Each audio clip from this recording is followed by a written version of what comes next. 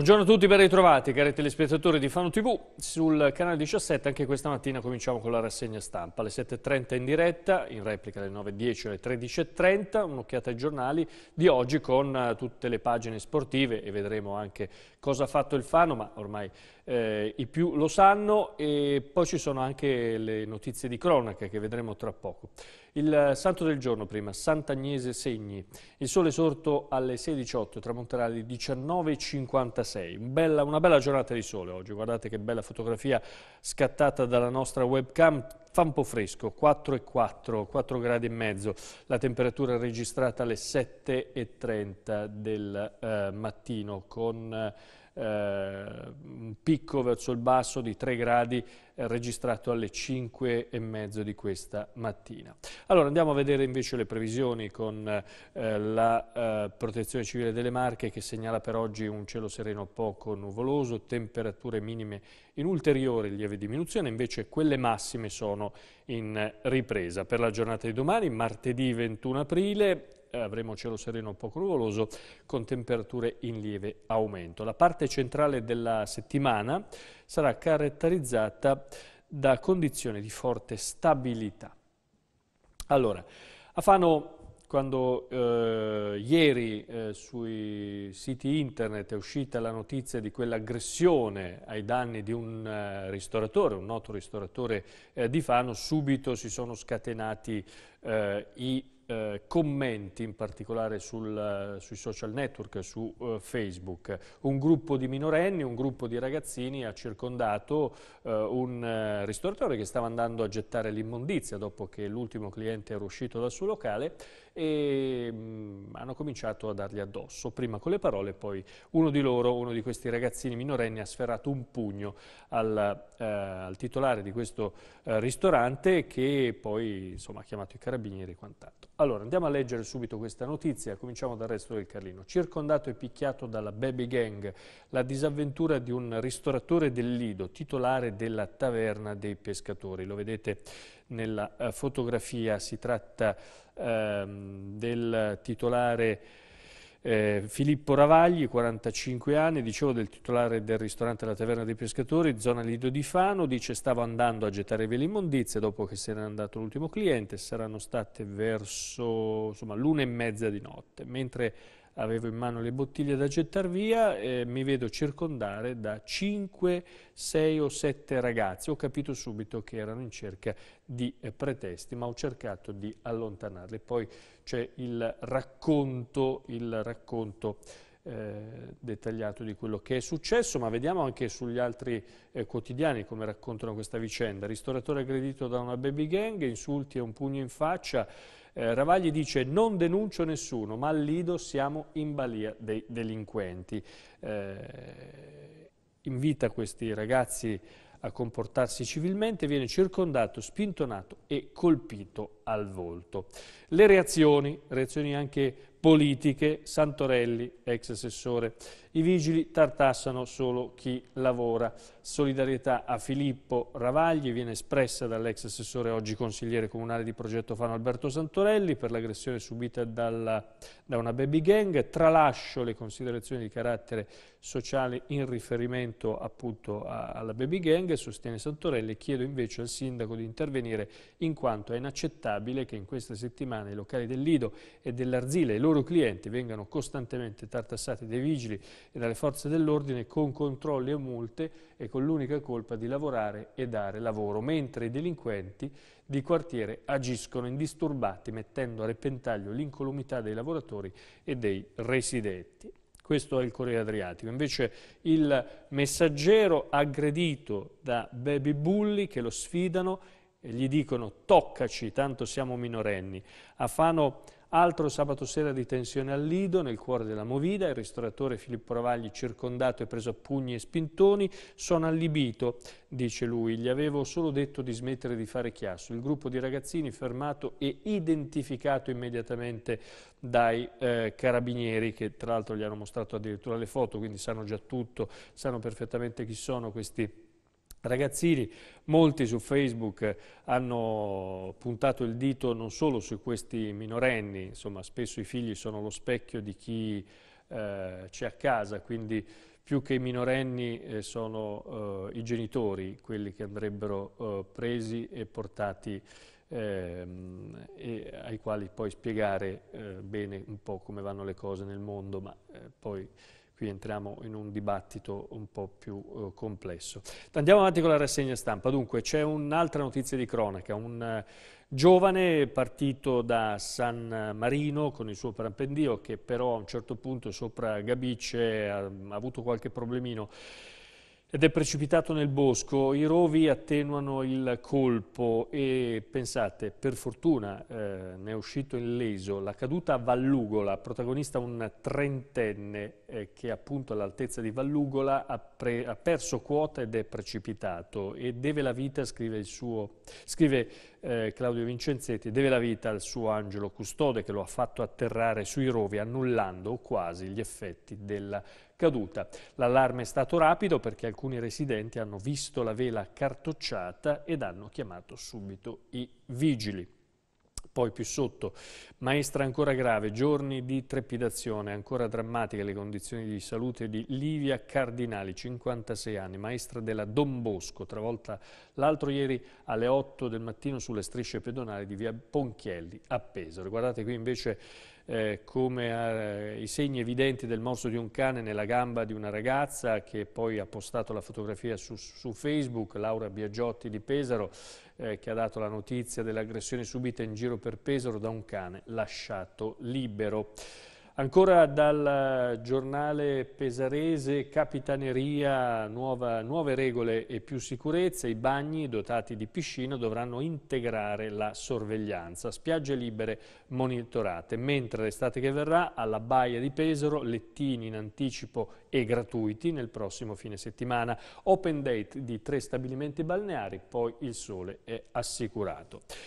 Un cuore, una città, sempre Pesaro, povertà e e anche relazioni che non ci sono. La Caritas pesarese riparte dalla famiglia solidale. C'è stato un, eh, un convegno eh, a Palazzo Antaldi dove appunto eh, si è parlato di povertà. La Caritas ha fotografato la propria attività per una visuale aggiornata su povertà e risorse disponibili.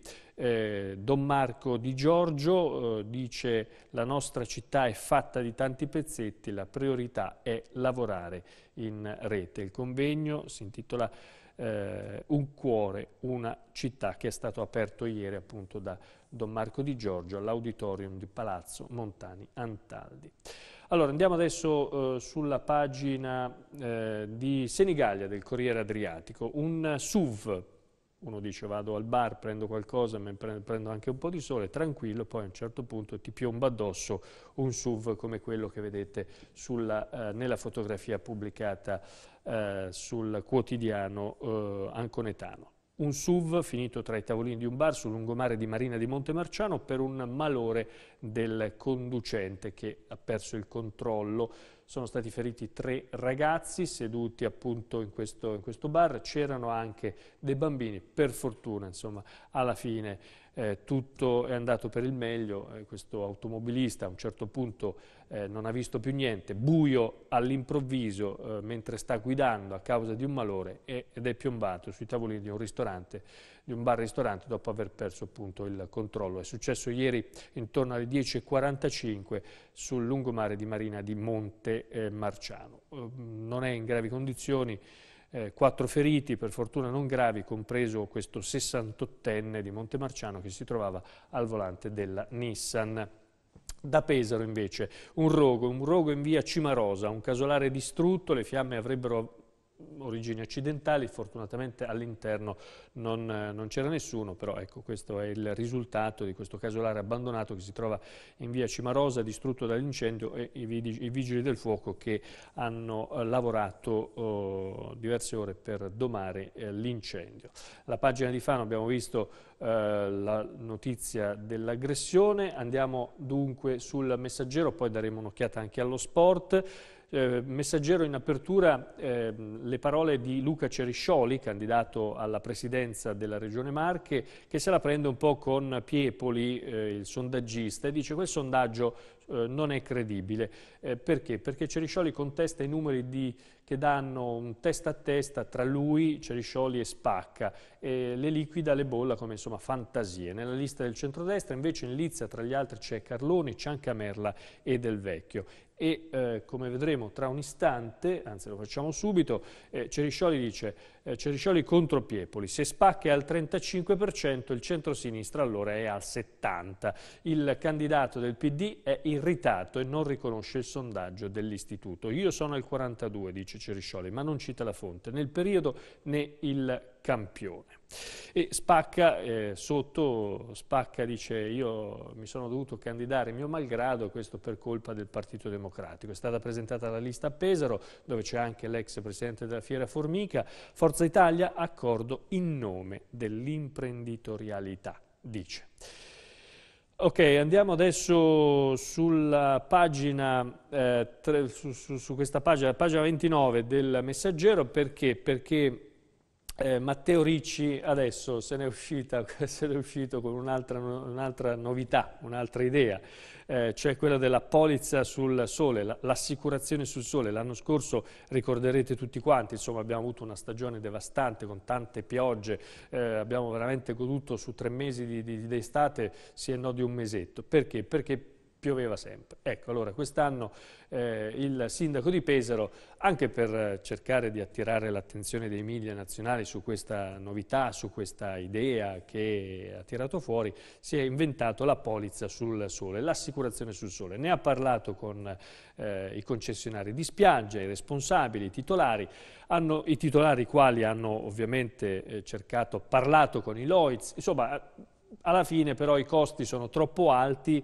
e dicono loro non riusciamo a sostenerli e l'assicurazione di fatto dunque questa idea è archiviata. Però Matteo Ricci torna alla carica e dice io non demorto perché è una grande idea che ci aiuta ad accendere i riflettori sulla città, in particolare su uno dei temi che interessa di più ai vacanzieri, cioè il meteo.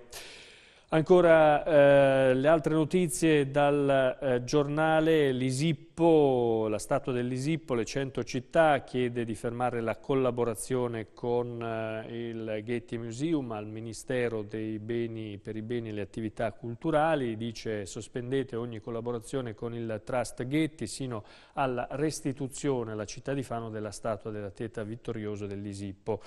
Eh, questo perché c'è una mostra eh, presso la Fondazione Palazzo Strozzi di Firenze dove è in corso appunto questa mostra per il ritiro di tutte le raffigurazioni della statua accompagnata dalla dizione Bronzoghetti. Ecco, una, una storia un po' particolare che è venuta fuori nei giorni scorsi. Allora, eh, che va approfondita, ma adesso non abbiamo tempo qui sulla, nella nostra rassegna stampa. Andiamo a vedere invece adesso le pagine sportive perché dovevamo parlarvi velocemente del grande successo del Fano ieri eh, a Teramo dove ha eh, vinto 4 a 1 contro il San Nicolò, San Nicolò che tra l'altro eh, è andato in vantaggio, eh, è andato in vantaggio, ha segnato l'ex Bartolini, quindi Fano pungolato dal gol di Bartolini, scatena però l'inferno nel finale ed è stato veramente un gol dietro l'altro, tutti da vedere stasera dopo il TG, Bartolini segna e si fa cacciare perché poi viene espulso, i Granata dunque in quel momento si svegliano dal torpore e infilano un sacco di gol eh, al San Nicolò. Alessandrini, allenatore del Fano, qui vedete con invece Epifani, l'allenatore del San Nicolò, cattiveria e cinismo da grande squadra. Dopo la squalifica avevo bisogno, dice Sartori, eh, di una iniezione di fiducia. Spero di ripetermi nel derby che ci sarà tra l'altro eh, domenica, eh, domenica, prossima allo stadio Mancini. Vis contro la Vis Pesaro. Vis che ha perso ieri in casa contro il Giulianova, Nassi gol, la Vis ripiomba adesso nell'incubo eh, retrocessione. Il Giulianova vince con un tiro, i biancorossi girano a vuoto e perdono la lucidità. Il Corriere Adriatico parla di poker del Fano, l'inseguimento dunque alla eh, Maceratese continua, anche se poi insomma, ci sono poche speranze, ieri la Maceratese ha vinto all'ultimo secondo, insomma Bartolini illude il San Nicolò che poi viene travolto, l'Alma è sempre a meno 6 dalla Maceratese ma allunga sulla San Benedettese che invece eh, si allontana al terzo posto. Carattere e personalità, noi sempre a testa alta, Alessandrini dice e parla di grande vittoria, qua sotto invece le pagelle con Lorusso e Gucci fanno la differenza. Chiudiamo con il messaggero, D'Antoni gol, Maceratese quasi ormai in Serie C, sotto Fano non molla, poker al San Nicolò, i Granata ci credono fino in fondo anche se in Abruzzo riescono solo nel finale a raddrizzare una partita storta. Gucci pareggia, il vantaggio locale dell'ex Bartolini, poi lo Russo e Sartori lo girano negli ultimi minuti. Alessandrini dice bravi ad uscire da una brutta situazione. Dunque partita tutta da vedere, quella di questa sera, dopo il telegiornale Occhio alla Notizia che andrà in onda come sempre alle 20.30. Grazie per aver seguito invece la rassegna stampa che torna domani mattina alle 7.30. Arrivederci.